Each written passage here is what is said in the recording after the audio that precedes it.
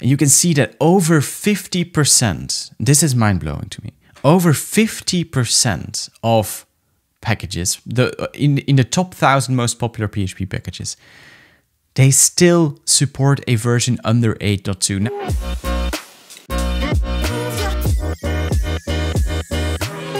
I was actually surprised to uh, let's see here. So so these stats, right? Um, 8.4 has pretty slow adoption, honestly. If we if we look at the, the first five months, because we don't have any data here, that's 13 uh, 13%, right? If we go to last year in May, 8.3 had 16%. If we go last May, year May, 8.2 had 15. And then a little bit back, 8.1 had 21%. Enter username says, I think the stats are misleading. I usually update my packages later to support older PHP versions, while I update my applications immediately. Uh, but this is, this is interesting, right? Because by not upgrading packages, you're forcing projects who are relying on your packages to keep using older PHP versions, right? Now with minor versions, that likely isn't that big an issue because they don't, well, they do have breaking changes, but minor versions, they, um, I assume your package just says like support for 8.4 and then everything above. So, or 8.2 maybe, and then 8.4 also works. So, um, I would say it's it's makes more sense the other way around for packages to first have support for 8.4 and then the projects will follow. And that's why I am a, a like a fan of of a very strict versioning strategy where your packages only support the latest major, basically. Yeah, so I uh, I don't know. I don't know. It's it stands out to me. It's definitely like relatively it's it's different compared to other other years. I like PHP 8.4. Let me just say that up front. Property hooks, asymmetric visibility. Boy. And what else uh, is worth mentioning? Property hooks. Oh yeah, new, new without parentheses. Oh, I use this now all the time. Cannot do without anymore. Asymmetric visibility is it is pretty cool. Um, and don't have that many use cases for it, but it is it is pretty nice. And array find, yeah, that's that's not super interesting. Um, implicit nullable types was a really good change. I, I did run into that quite a lot, um, but this is a good change. And then new HTML5 support. Fortunately, with Tempest, we wanted to switch to this um, to this this new HTML parser, and then we realized that it's so strict. It just follows the spec, right? But it's it actually works as it, as intended and uh, our syntax isn't compatible with well not 100% compatible with the html5 spec. So i had to do what a programmer has to do and i wrote my own html parser. That's a story for another day. Um, oh lazy objects also like i mean 8.4 it was a really really good release the problem is that I cannot switch to the newest PHP features in my packages because that exclude all other versions Im immediately. So, but um, enter username, um, whoever you are. I, I think uh, you're you're highlighting a very um, important point, but I, I I have the completely opposite opinion here, and we can we can uh, uh, disagree, of course.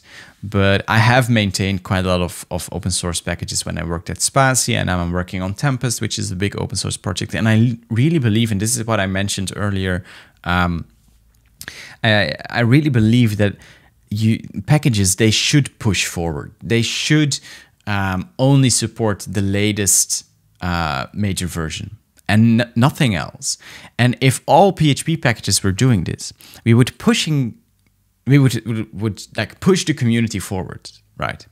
And I think that's a really good thing because like old projects, right? Because you get the argument that um, uh, like old projects then cannot update anymore and, and you're being way too strict. But that's not entirely true. Like old projects can still use your package, just not the latest version. With every update, you get a little more performance because performance is always increasing, right? Security, previous major version also still gets security updates, but but you're still like lacking a little bit behind. Why not just push people forward? You need to update at some point anyway, or you don't. That's that's your whatever you want, of course. But you need to update at some point. Why? Um, like postpone the inevitable. And I think that packages and package authors they they play a crucial role in this, and that I, I like I really believe I believe this, but I, I think the, the, the PHP community would be better off if more package authors would push towards a like only the latest release. Adrian is, is saying here also would be worth grabbing all composer JSON files from GitHub and check supported PHP versions and try to classify each project. This is exactly what I do. Adrian. Not all PHP uh, projects because that's too many, but um, I do this twice a year. I, I, write this version stats blog post and I look at at this graph, right? Um, but I also uh, let's scroll down a bit. I also download the top thousand most popular composer packages, right? And then I parse their um, composer composer JSON file and look uh, look for like the minimum required version, right? Um, and then I put it into this graph over here. And you can see that over 50%, this is mind blowing to me, over 50% of packages, the in, in the top 1000 most popular PHP packages, they still support a version under 8.2. Now, to be clear, 8.3, I think I'm right. Right. So 8, 8.1 and 8.2, they still have security fixes, right? Only 8.3 and 8.4 are actively supported. So not just security fixes, but also um, uh, like uh, bug fixes, right? And over half of the top thousand most popular packages, they still support like not not just half, but like if we if we only count from 8.1 as actively supported, right? Which is like in, in my opinion already a bit uh, overkill because I would only count from 8.3, but anyway.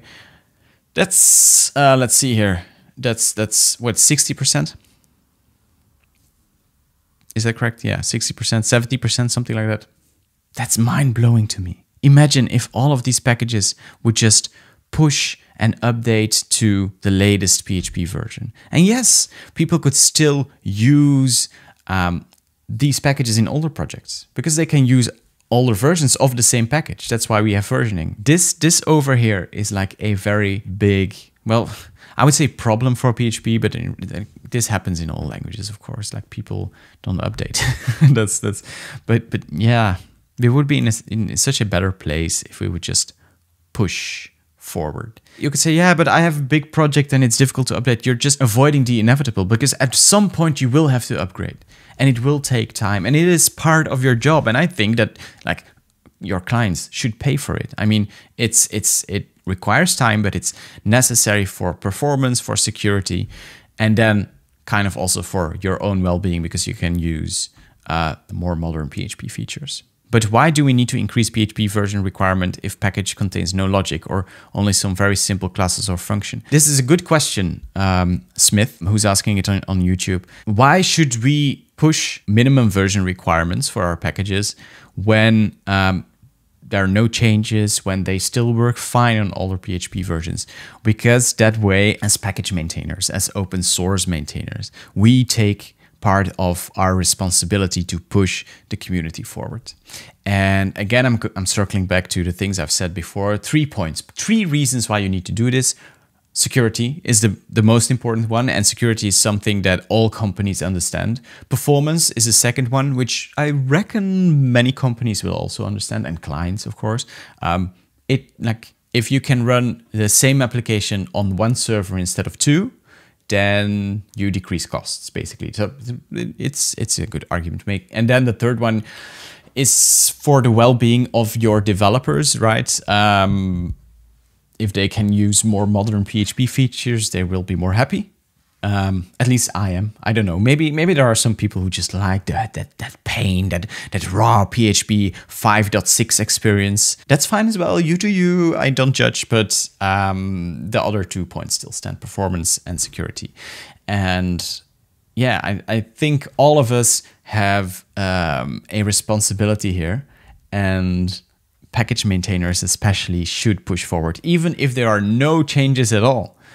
When PHP 8.5 releases, you just two months, you wait two months. Of course, just give it some time to like get to 8.5.1 version right, or 8.5.2 even, uh, and then you just bump the minimum version, and you you know just do it.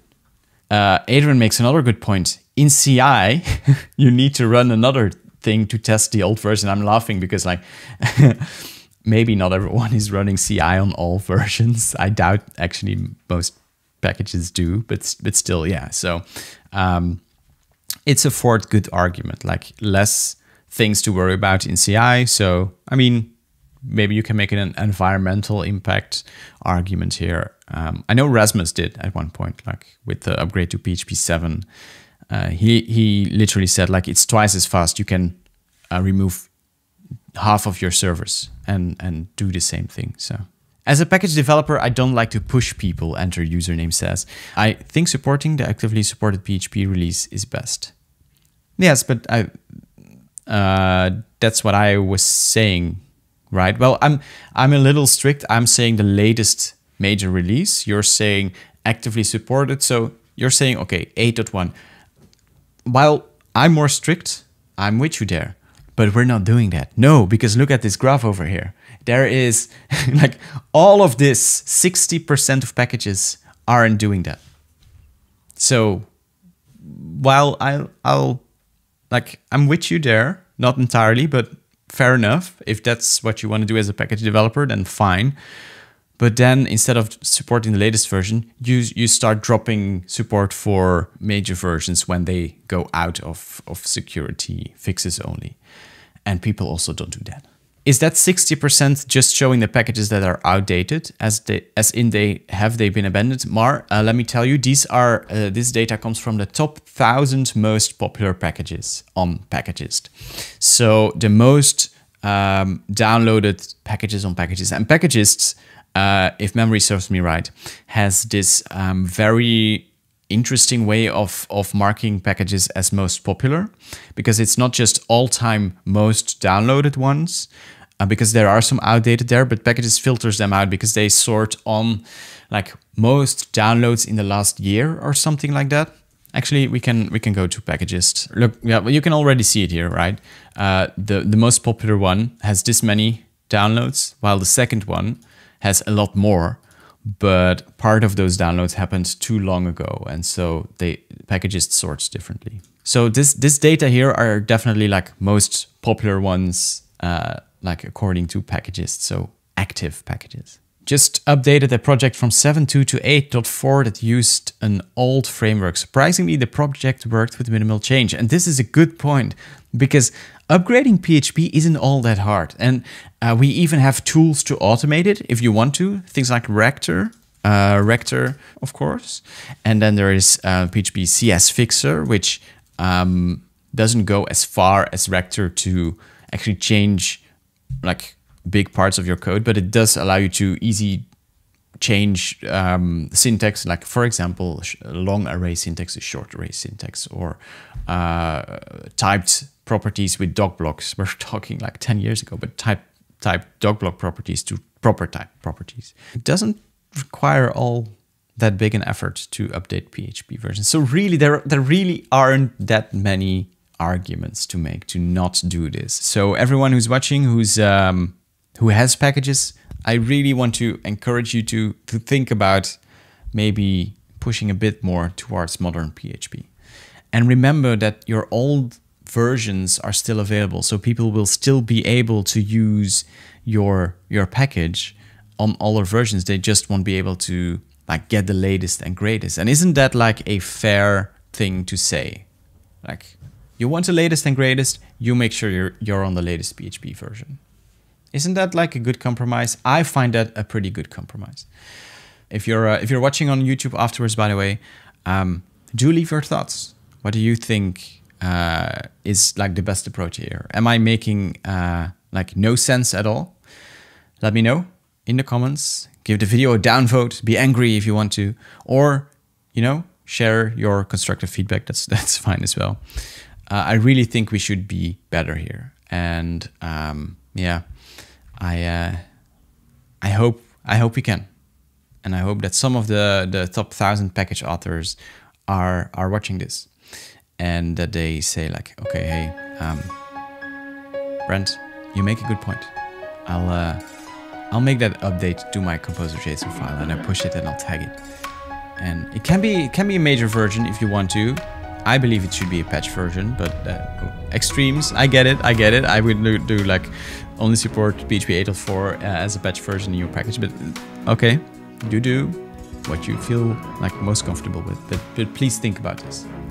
Let us help move the, the community forward. I feel like there should be some some like dramatic music when I'm editing this video. Just note to myself, dramatic music, yeah, like small zoom in, let's make let's make PHP even better. It is it is really good. It's in a really good place. Let's work together to make it even better. Okay. Thanks for watching, folks. I'll see you uh, see you in the next one.